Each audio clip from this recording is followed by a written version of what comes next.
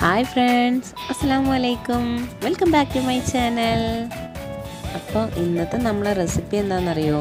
അടിപൊളിയായിട്ടൊരു jelly മിഠായിയാണ് കേട്ടോ കുട്ടികൾക്കും വലിയവർക്കൊക്കെ ഒരുപാട് ഇഷ്ടമാകുന്ന കടയിൽ നിന്ന് മേടിക്കുന്ന അതേ ടേസ്റ്റിൽ ജെല്ലി മിഠായി നമുക്ക് വീട്ടിൽ തയ്യാറാക്കാം. അതെങ്ങനെയാണ് നോക്കാം? ഇതിന് ചെയ്യാൻ വേണ്ടിയിട്ട് നമ്മളെടുത്തിട്ടുള്ള ഇൻഗ്രീഡിയൻസ് ആണ്. പഞ്ചസാര രണ്ട് കപ്പ് എടുത്തിട്ടുണ്ട്. ഇനി അടുത്ത ഇൻഗ്രീഡിയന്റ് ആണ് ജലാറ്റിന് ബേക്കേഴ്സിന്റെ ജലാറ്റിനാണ് നമ്മൾ യൂസ് ചെയ്യുന്നത്. അത് നമുക്ക് അൻപത് ഗ്രാം ഫുള്ള് നമുക്ക് ആവശ്യമുണ്ട്. ഇനി അതുപോലെ മുന്നൂറ് എം എൽ വെള്ളം എടുത്തിട്ടുണ്ട് നമ്മൾ ഇത് ഷുഗർ സിറപ്പ് ഉണ്ടാക്കാൻ വേണ്ടിയിട്ടുള്ള മുന്നൂറ് എം എൽ വെള്ളമാണ് കേട്ടോ. പിന്നെ അതുപോലെ ഒരു നാരങ്ങയുടെ ഫുള്ളായിട്ടുള്ള നീരെടുത്തിട്ടുണ്ട് പിന്നെ ഇതിന്റെ മെയിൻ ആണ് കളേഴ്സ് നമുക്ക് ഏത് കളേഴ്സ് വേണമെങ്കിലും എടുക്കാം. ഞാനിങ്ങനെ ലിക്വിഡായിട്ടുള്ള ഷെയ്ക്കൊക്കെ അടിക്കുന്ന കളേഴ്സാണ് എടുത്തിട്ടുള്ളത്. നമുക്ക് പൗഡേഴ്സ് എടുക്കുകയാണെങ്കിൽ അതിന്റെ ഫ്ലേവേഴ്സും കൊടുക്കുമായിരിക്കും നല്ലത്. ഇതാകുമ്പോൾ നമുക്ക് കളറും കിട്ടും ഫ്ലേവറും കിട്ടും. അതിനാണ് ഇനി ഒരു ബൗൾ എടുത്തിട്ട് നമുക്ക് ഈ ജലാറ്റിനെ അതിലേക്കൊന്ന് മാറ്റി കൊടുക്കാം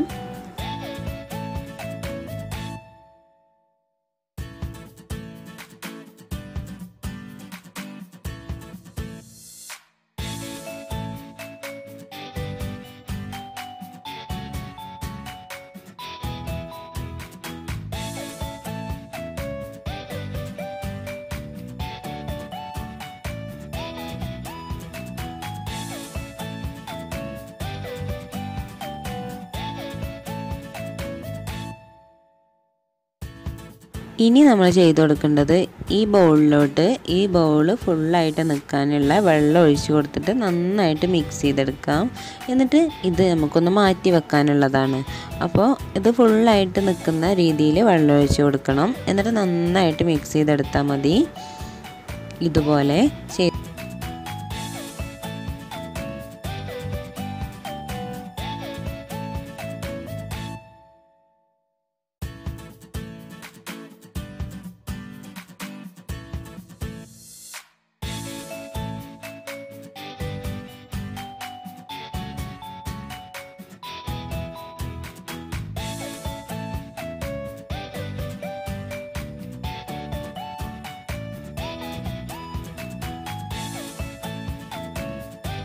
ഇനി നമുക്ക് ഇതൊന്ന് മാറ്റി വെക്കാം. ആ സമയം നമ്മൾ ചെയ്തെടുക്കാൻ ഒരു അടി കട്ടിയുള്ള ഒരു പാൻ എടുത്തിട്ട് അതിലേക്ക് നമ്മൾ പഞ്ചസാര ഇട്ട് കൊടുക്കുകയാണ്. നോൺ സ്റ്റിക്ക് പാൻ ആയാലും കുഴപ്പമില്ല. എന്നിട്ട് അതിലേക്ക് നമ്മൾ മാറ്റി വെച്ചിട്ടുള്ള പഞ്ചസാര ഇട്ട് കൊടുത്തതിന് ശേഷം അളന്ന് വെച്ചിട്ടുള്ള വെള്ളം ഒഴിച്ച് കൊടുക്കുക. വെള്ളം അളന്നെടുക്കണമെന്നൊന്നുമില്ല. പഞ്ചസാര ഇട്ട് കഴിഞ്ഞാൽ അതിന്റെ കുറച്ച് മുകളിൽ ആയിരിക്കണം വെള്ളം എന്ന് മാത്രം.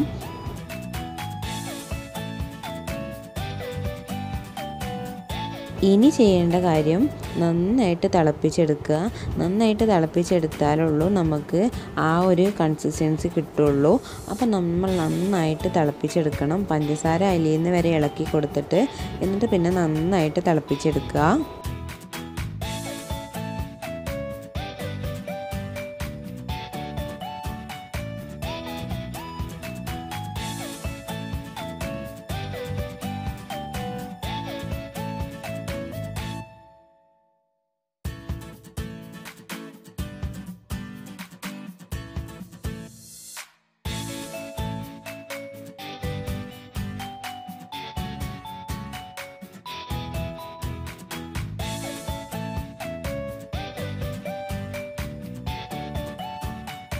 ഇതുപോലെ നന്നായിട്ട് തിളപ്പിച്ചെടുക്കണം. നന്നായിട്ട് തിളപ്പിച്ചെടുത്തതിന് ശേഷം ഇതിപ്പോൾ നമ്മൾ ഫുൾ ഫ്ലെയിമിലിട്ടിട്ടാണ് തിളപ്പിച്ചെടുക്കുന്നത്. ഇനി നമുക്ക് അതുപോലെ ലോ ഫ്ലെയിമിലിട്ടിട്ട് ഒന്ന് ഇങ്ങനെ തിളപ്പിച്ചെടുക്കാം. ആ സമയം നമ്മൾ ചെയ്യേണ്ട ഒരു കാര്യം നമ്മളെ ജലാറ്റിന് നമ്മൾ കുതിരാൻ വെച്ചിട്ടുണ്ടായിരുന്നല്ലോ. അത് നമുക്ക് ഒരു പാൻ എടുത്തിട്ട് അതിലേക്ക് ഇട്ടിട്ട് ഒന്ന് തിളപ്പിച്ചെടുക്കേണ്ട ആവശ്യമുണ്ട്. ഇതുപോലെ ഒരു പാൻ എടുത്തിട്ടുണ്ട്. ഈ പാനിലോട്ട് നമ്മൾ ഇട്ട് കൊടുക്കുകയാണ് ലോ ഫ്ലെയിമിൽ വെച്ചിട്ട് നമ്മളിത് അതിലേക്ക് ഇട്ട് കൊടുക്കാം. ഫുൾ ഫ്ലെയിമിലാകുമ്പോൾ പെട്ടെന്ന് അങ്ങനെ എന്താ തിളച്ച് പോവും. അപ്പോൾ ലോ ഫ്ലെയിമിൽ ഇട്ടിട്ട് ഇട്ട് കൊടുക്കുക.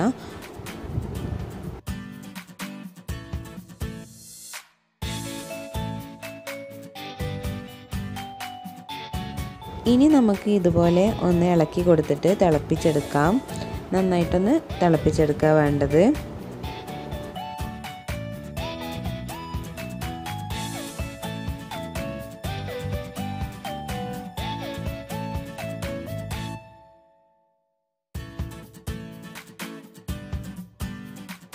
ഇപ്പം നന്നായിട്ട് തിളച്ച് വന്നിട്ടുണ്ട് കേട്ടോ നന്നായിട്ട് തിളച്ച് വന്നിട്ടുണ്ട്. ഇനി നമ്മൾ ഇതൊന്ന് ഗ്യാസ് ഓഫ് ചെയ്തതിന് ശേഷം നമ്മളെ തിളച്ചുകൊണ്ടിരിക്കുന്ന പഞ്ചസാര സിറപ്പിലോട്ട് ഒഴിച്ചു കൊടുക്കുകയാണ്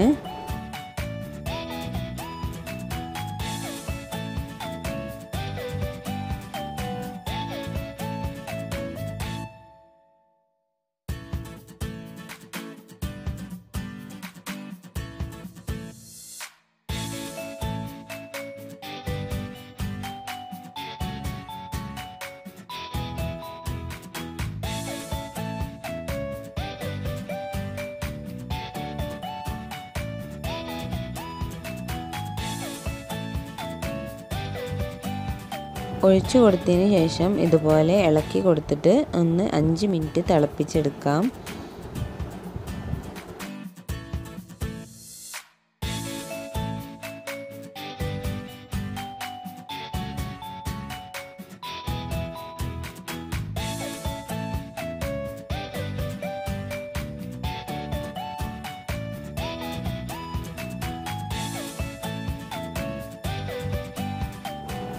ഇപ്പോൾ നമ്മൾ സിമ്മിലിട്ടിട്ടുണ്ട്. ഇനി നമുക്ക് ഇതൊന്ന് എടുത്തിട്ട് ഇതിന്റെ ആ ഒരു ഒട്ടുന്ന രീതിയിലായിട്ടുണ്ടോ എന്ന് നോക്കണം. എന്നതിന് ശേഷം മാത്രമേ ഓഫ് ചെയ്യാൻ പറ്റുള്ളൂ ഗ്യാസ്.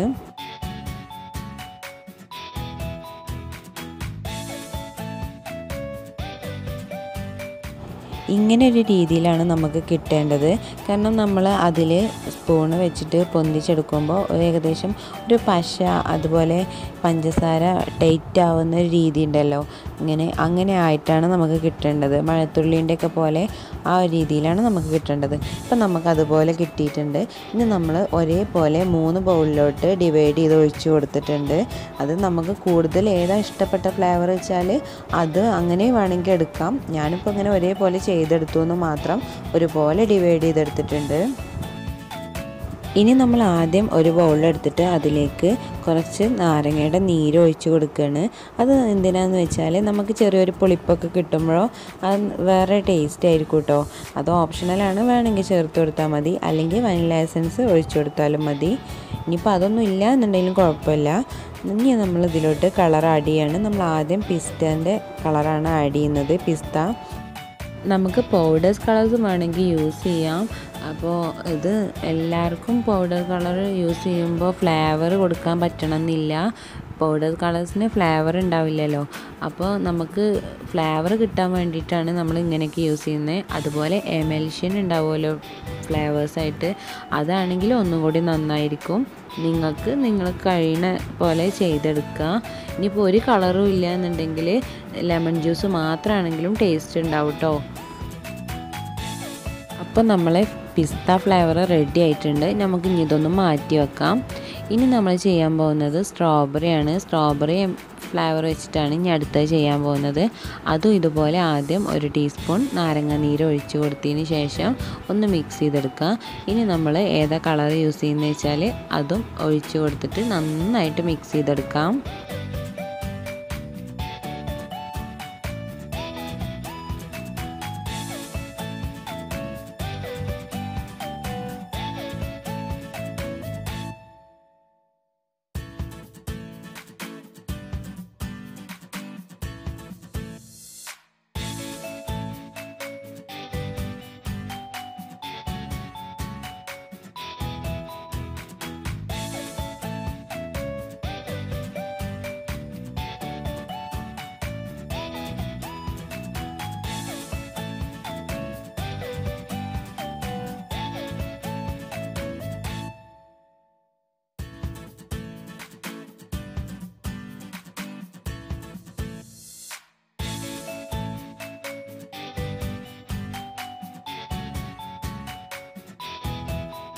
അതുപോലെ നമ്മളെ സ്ട്രോബെറി ഫ്ലേവർ റെഡി ആയിട്ടുണ്ട്. ഇനി അതൊന്ന് മാറ്റി വെച്ചതിന് ശേഷം നമ്മൾ അവസാനം ബദാമിന്റെ ഫ്ലേവർ വെച്ചിട്ടാണ് ചെയ്യുന്നത്. ബദാം മിൽക്കിന്റെ എസൻസ് വെച്ചിട്ടാണ് ചെയ്യുന്നത്.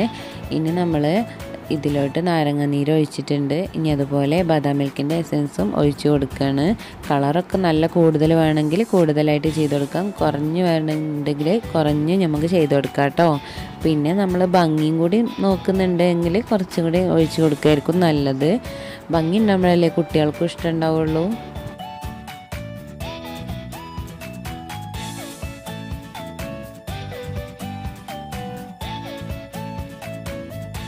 ഇപ്പം നമ്മളെ മൂന്ന് ഫ്ലേവറും റെഡി ആയിട്ടുണ്ട്. പിന്നെ ഒരു കാര്യം ശ്രദ്ധിക്കേണ്ടത് ഇതൊക്കെ ചെറു ചൂടോടെ തന്നെയാണ് ഇതൊക്കെ ചെയ്തെടുക്കേണ്ടത്. തണുത്ത് പോകുന്തോറും സെറ്റായിക്കൊണ്ടിരിക്കും അപ്പോൾ നമ്മൾ പെട്ടെന്ന് പെട്ടെന്ന് ചെയ്തെടുക്കാൻ വേണ്ടി ശ്രദ്ധിക്കുക. പിന്നെ അതുപോലെ നമ്മൾ ഇവിടെ എടുത്തിട്ടുള്ളത് സിലിക്കന്റെ സ്റ്റാർ ഷേപ്പിലൊരു മോൾഡാണ് എടുത്തിട്ടുള്ളത്. എങ്ങനെ വേണമെങ്കിലും ഇത് ചെയ്തെടുക്കാൻ ഞാൻ ഇവിടെ രണ്ട് രീതിയിൽ കാണിക്കുന്നുണ്ട്. സിലിക്കന്റെ സ്റ്റാർ ഷേപ്പിലോട്ട് നമുക്ക് കുറച്ച് കുറച്ചായിട്ട് മൂന്ന് ഫ്ലേവറും ഇങ്ങനെ ഒഴിച്ചു കൊടുക്കാം.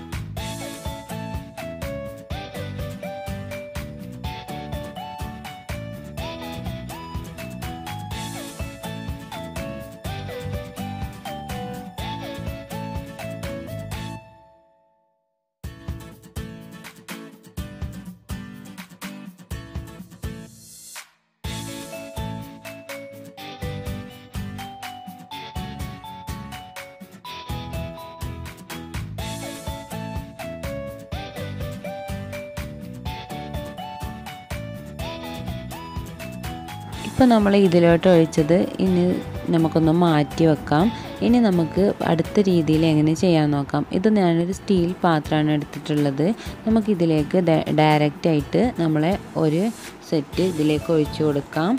അങ്ങനെ നമുക്ക് ഏത് പാത്രത്തിൽ വേണമെങ്കിലും ഇത് സെറ്റ് ചെയ്തെടുക്കാം കേട്ടോ. പിന്നെ ചെയ്യുന്നൊരു കാര്യം എന്ന് പറഞ്ഞാൽ കട്ടിക്ക് കട്ടിയിലാണ് നമ്മൾ ചെയ്തെടുക്കുന്നത് വെച്ചാൽ നമുക്ക് എടുക്കാനും കുറച്ച് സുഖമായിരിക്കും ഇപ്പോൾ ഞാൻ അതിലും കൂടി കുറച്ച് ഒഴിച്ചത് കാരണം കട്ടി ലേശം കുറഞ്ഞിട്ടുണ്ടായിരുന്നു. ഞാൻ നിങ്ങൾക്ക് കാണിക്കാൻ വേണ്ടിയിട്ടാണ് അതിൽ ഒഴിച്ചത്. ഞാൻ സെക്കൻഡും അതുപോലെ മോൾഡിൽ സെറ്റ് ചെയ്യണം വിചാരിച്ചിട്ടുണ്ടായിരുന്നേ. മോൾഡ് എല്ലാവർക്കും ഉണ്ടാവണമെന്നില്ലല്ലോ. അപ്പോൾ നമുക്ക് ഇങ്ങനെയും ചെയ്യാമെന്നാണ് കാണിക്കുന്നത്.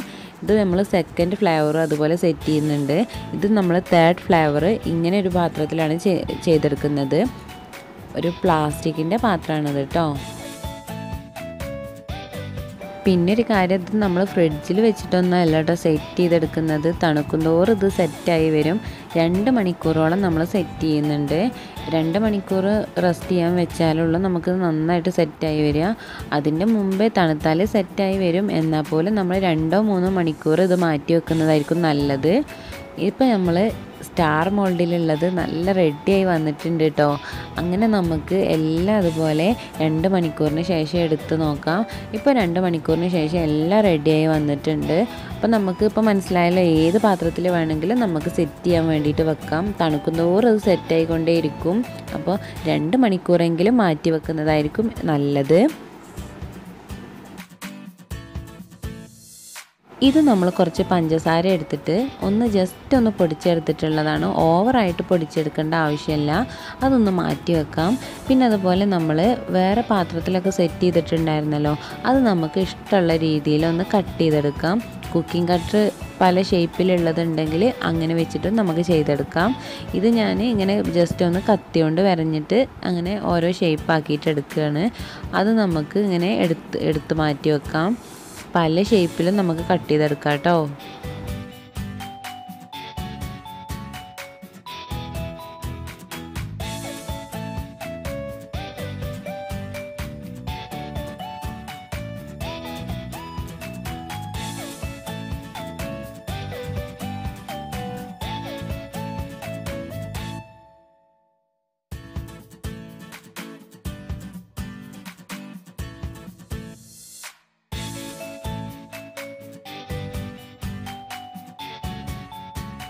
അങ്ങനെ നമുക്ക് എല്ലാം ഓരോ ഷേപ്പിലായിട്ട് കട്ട് ചെയ്തെടുക്കാം. അതൊക്കെ നമ്മുടെ ഇഷ്ടത്തിനനുസരിച്ച് കട്ട് ചെയ്തെടുക്കാം കേട്ടോ. ഇനി നമ്മൾ ഓരോ പഞ്ചസാരയുടെ ഇതിലേക്ക് നമ്മൾ ഇങ്ങനെ ഇട്ട് കൊടുക്കുകയാണ് ഇങ്ങനെയാണ് ഇത് ഡിപ്പ് ചെയ്തെടുക്കേണ്ടത്. തമ്മിൽ ഒട്ടിപ്പോയാലും പഞ്ചസാര തട്ടിക്കഴിഞ്ഞാൽ ഇത് വിട്ട് കിട്ടിക്കോളും. അപ്പോൾ ഇങ്ങനെ എല്ലാം ഡിപ്പ് ചെയ്തെടുക്കാം.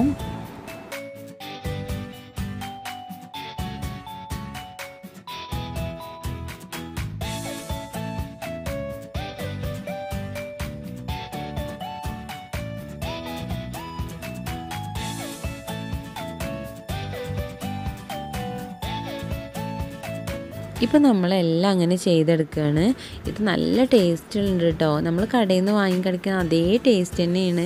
അപ്പോൾ നമ്മൾ കടയിൽ നിന്ന് വാങ്ങുന്നതിൽ നല്ലത് നമുക്ക് ഉണ്ടാക്കിക്കൂടെ? ഒന്നും കൂടി നന്നായിരിക്കും. ഇഷ്ടപ്പെട്ട കളറ് അതുപോലെ ഇഷ്ടപ്പെട്ട ഫ്ലേവറൊക്കെ വെച്ചിട്ട് നമുക്ക് തയ്യാറാക്കാം. അപ്പോൾ എല്ലാവരും തയ്യാറാക്കി നോക്കുമെന്ന് വിചാരിക്കുന്നു. നമ്മളെ വീഡിയോസ് കണ്ടതിന് ശേഷം സബ്സ്ക്രൈബ് ചെയ്യാത്ത കൂട്ടുകാരൊക്കെ ഉണ്ട് എന്നുണ്ടെങ്കിൽ സബ്സ്ക്രൈബ് ചെയ്യാട്ടോ. വേഗം സബ്സ്ക്രൈബ് ചെയ്തോളൂ. അതിന്റെ തൊട്ടടുത്തുള്ള ബെല്ലൈക്കൺ പ്രസ് ചെയ്ത് കഴിഞ്ഞാൽ ഞാൻ വീഡിയോ ഇടുന്ന അതേ സമയം തന്നെ നിങ്ങൾക്ക് നോട്ടിഫിക്കേഷൻ ആയിട്ട് വരും. പിന്നെ നമ്മളെ വീഡിയോ നിങ്ങൾക്ക് ഇഷ്ടമായി എന്നുണ്ടെങ്കിൽ ഷെയർ ചെയ്യാനും ശ്രദ്ധിക്കണം കേട്ടോ. കണ്ടു കഴിഞ്ഞതിന് ശേഷം ഷെയർ ചെയ്യുക പിന്നെ നല്ല കമൻസ് ഞാൻ പ്രതീക്ഷിക്കുന്നുണ്ട്. അപ്പോൾ കമൻസൊക്കെ അറിയിക്കുക. താങ്ക്